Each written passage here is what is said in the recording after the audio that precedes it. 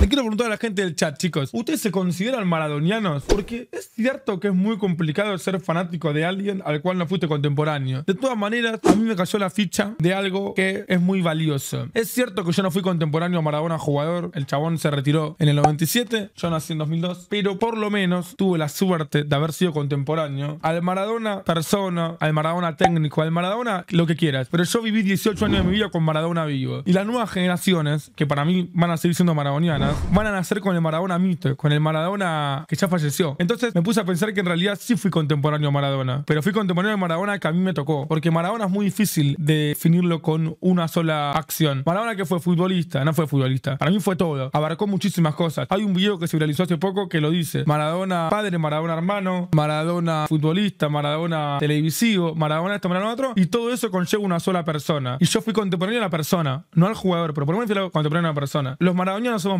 no solamente por el fútbol. Es una realidad. Para mí es el mejor de todos los tiempos, lo vuelvo a decir. Tengo que elegir un jugador, dámelo siempre al Diego. Hoy me puse a reflexionar y me di cuenta que en vez de decir qué cagada, no fui contemporáneo a Maradona jugador, qué cagada, me hubiese encantado haber visto a Maradona, tengo que agradecer por por lo menos haber sido contemporáneo a Maradona persona. Porque yo tuve la suerte de, por ejemplo, ver todos los partidos de gimnasia en La Plata en 2019 con Maradona técnico. Tuve la suerte en 2018 quedarme madrugadas un miércoles mirando a Dorado de Sinaloa para ver si podía ascender a la Liga Mexicana, para ver a Diego Cam. Por lo menos tuve eso, ¿entendés lo que te digo? Cuando le cuento eso a mi hijo, mi hijo ya no va a entender mucho, porque ya no va a estar más el Diego. Entonces, en vez de quejarme de no haber visto al Diego jugador, tengo que agradecer de haber visto al Diego persona, o técnico, o llamarlo como se te canta el quinto forro del orto. Hola Davo, justo venía a preguntarte qué opinabas sobre esta definición sobre Diego que hace Cherkis Vialo. Abrazo grande genio. Bueno, esta es lo que te decía. Mira, gracias, gracias por mandármelo, maestro. Es muy complicado para mí definir a Maradona porque verdaderamente es una persona que vivió siete vidas distintas en 60 años. Pero esta definición a mí me gusta mucho. Hay por lo menos ocho, nueve Maradonas. Hay un Maradona que jugó al fútbol, hay un Maradona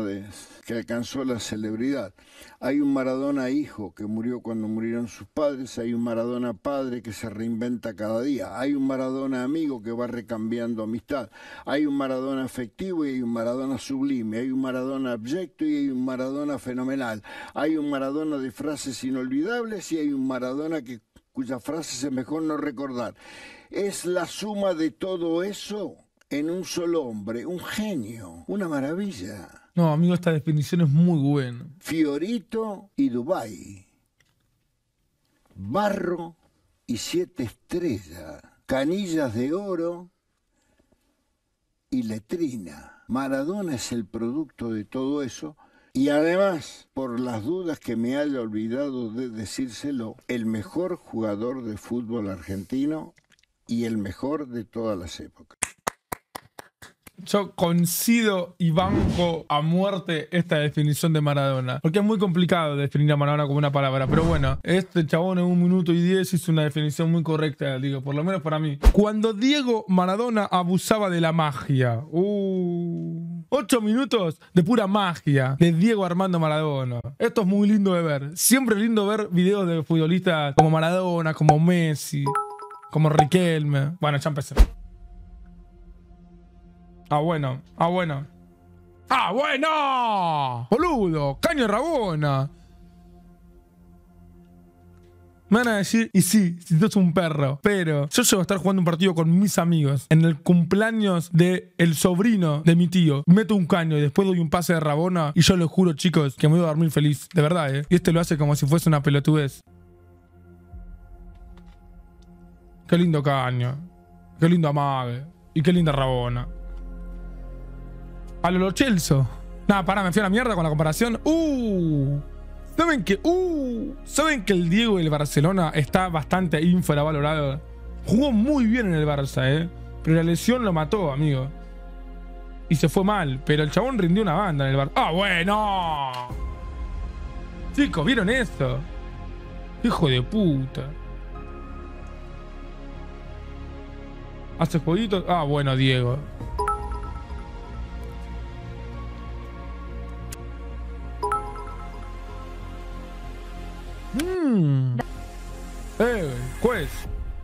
Qué lindo pisarla con tanta facilidad. Uh, esta la tengo, asistencia de Rabona. Mira, amague. Qué lindo, centro y gol. Amigo, qué jugadorazo el Diego, por favor. Diego Armando Maradona. Qué locura. ¡Eh! Y sigue. Y sigue. Y amaga. Y lo deja en el piso. Esta es tremenda, amigo. Esta es tremenda. Yo tengo algo para decirle de esta jugada. Este, según Ruggeri y según Maradona, fue el mejor partido del Diego en ese mundial. Y fue el único partido donde no tuvo ni gol o asistencia. Esto es octavo de final del mundial contra Uruguay. Miren la jugada que hace el Diego. Se amaga uno. Se amaga otro. Lo deja solo a su compañero. Y lamentablemente lo erra.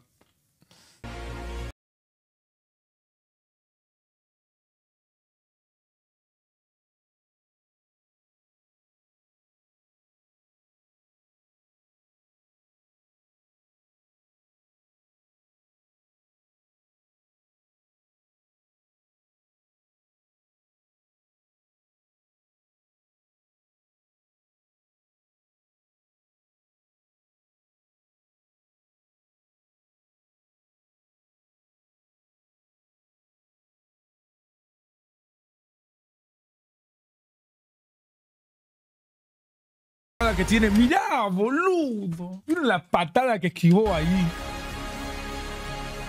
Mirá con la violencia que iban a darle. Miren esto. O sea, ahí te das cuenta que este jugador no hay chance que llegue a la pelota. Miren con la violencia que va.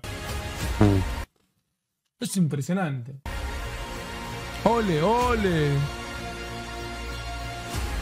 Bueno, al Diego del Sevilla.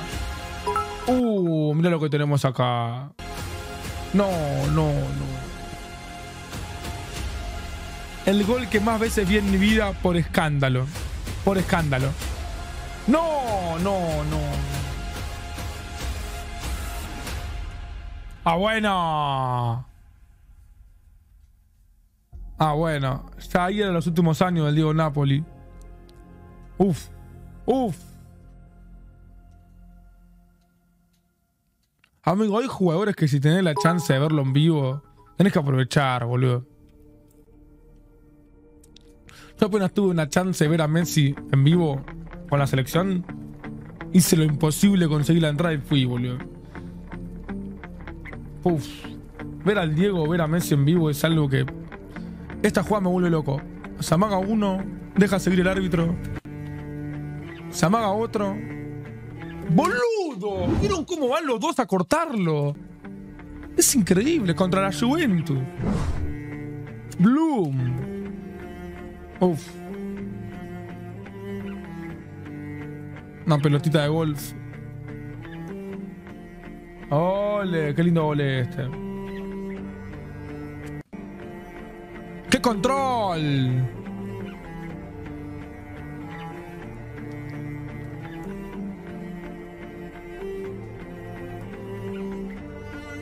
Uf. Uf. Amigo. ¡Uy, qué lindo verte con esta, Diego!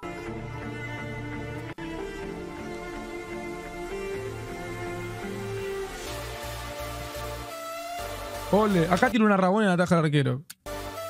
Sí. No, sí, del Diego en boca vi todo, amigo. Uf.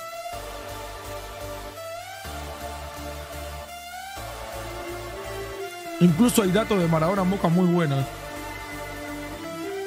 Ole. Uh, esta juega contra Inglaterra en el 80 en el Wembley.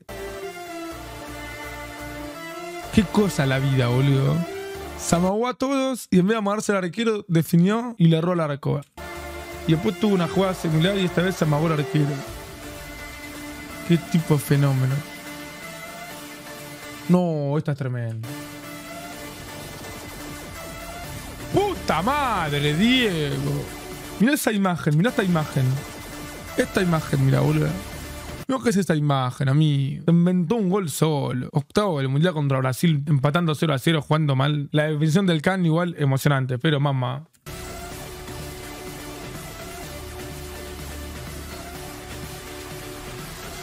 Qué linda camiseta esa. ¡Ole! ¡Uh, la patada que le pegan acá! Pero déjala. Gracias, Matías Acevedo, por la sub. Ole. Ole. No, esta es tremenda. Esta es tremenda. Esta es la mejor asistencia de la historia del fútbol, chicos. No tanto por el pase, sino por la jugada. Ahora la vamos a ver. Miren lo que es esto, chicos. Ese es Maradona, ¿eh? Se amaga uno, arranca a encarar, se amaga dos por el camino, junta tres, junta cuatro, junta cinco, engancha otro, engancha, se amaga otro, toma, hacelo. Gol. El pase es una boluda, es un pase acostado, pero. Una locura, una locura. Toma, hacelo. Mamita querida, qué jugador. Ay, cómo no va a ser gol esto. Esto es Boca Racing, torneo de verano. Creo que este fue el último, uno de los últimos partidos del Diego en Boca, porque fue en el 82 esto, y después se fue, pero. ¡Uh! ¿Cómo la sacó, boludo? Chupapija el que la sacó, igual, torneo de verano, forro, dejáselo. Ah, bueno, Diego. Oh, para los leprosos. Para los leprosos esto. Mamá, no, bueno. Ole. Ole. Hacelo, hijo de puta. Definí de Uy, todo lo que sea el Mundial del 86 es fascinante. Qué lindo enganche. Pechito, se amaga uno, dos. ¡Bloom! Golazo. Qué bien el Diego, hermano. Semifinal del mundo, muchachos, contra Bélgica. Cualquier jugador en la historia del fútbol, si gana una semifinal del mundo, 2 a 0 su país, con dos recontra golazos de ese jugador, es reconocido de por vida por ese doblete. Maradona hizo eso y la gente ni sabe que metió dos goles en una semi del mundo. Imagínense lo grosso que fue su mundial, que pasó desapercibido un doblete en una semifinal del mundo.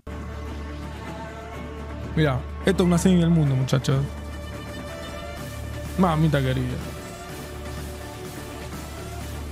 Inigualable. ¡Qué control! ¡Ole! Yo llego a querer hacer eso, boludo, y te juro que me tienen que internar. ¡Ole! Mira cómo iba la pelota. ¿Vieron cómo va la pelota, chicos? Miren el nivel del campo de juego. Miren cómo va la pelota. Va picando, boludo. Es mucho más difícil jugar así. Uy, Dios. Uf. Ah, bueno. Ah, bueno. Qué lindo, 10.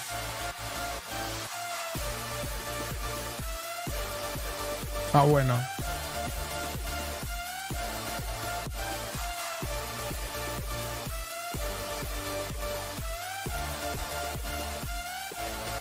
Uf. Qué lindo verlo con la selección, boludo. Devuélvesela. Ahí viene el Diego.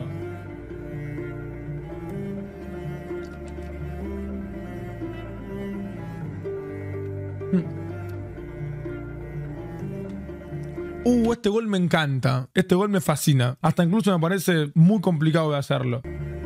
Controla, amaga y define. También en el contexto que lo hizo, ¿no? Es un gol muy importante porque fue contra el Milan. Pero el chabón la controla en el aire. Y en el segundo control lo amaga. Videazo, ¿eh? Pero falta un montón de jugadas. Pero es lógico igual. Como Vierrega vas a meter en 8 minutos la magia al Diego. Muy buen video, muy buen video. Y este golazo, a ver. este es el mejor gol de Maradona, chicos, a ver.